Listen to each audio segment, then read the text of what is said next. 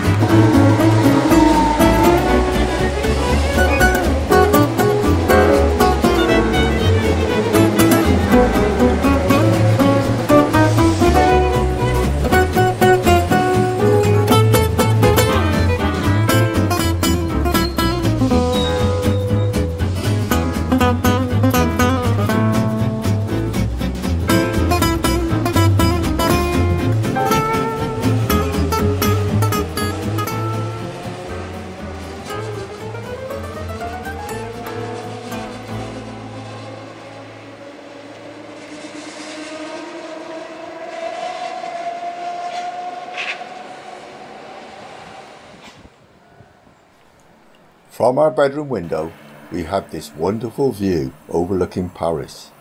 The most iconic feature in the city is the Eiffel Tower. How lucky we were to lay in bed at night and see the Eiffel Tower, bathed in special light, one would hope just for us.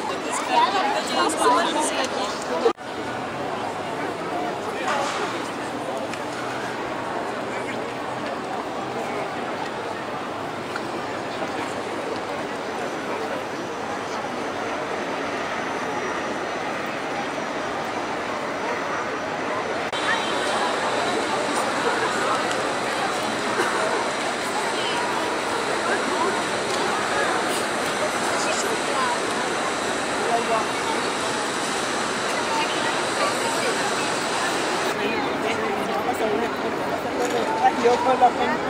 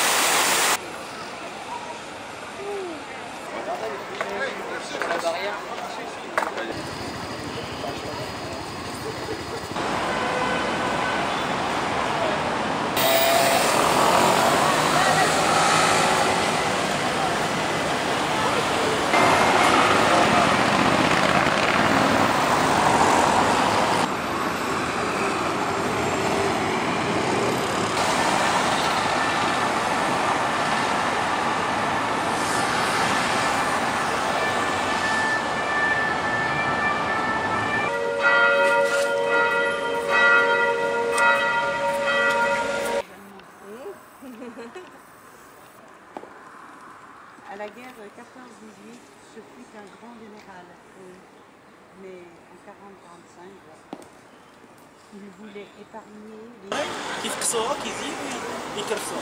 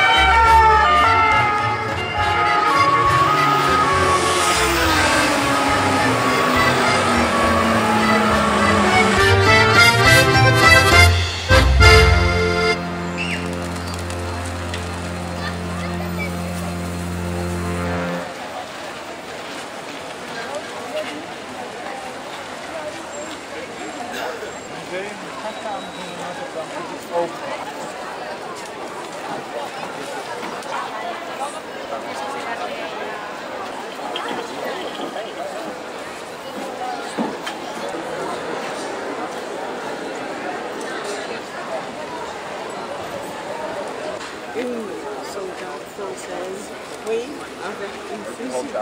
Ah oui. ah-